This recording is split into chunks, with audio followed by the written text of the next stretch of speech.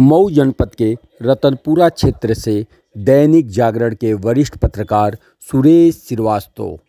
जो पिपरसात गाँव के निवासी हैं, किसी भी परिचय के मोहताज नहीं हैं। उनकी कहानी माई का ममता,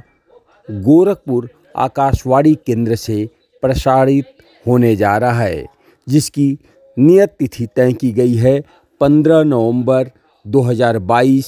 सायंकाल पाँच बजकर पैंतीस मिनट पर सुरेश श्रीवास्तव की कहानी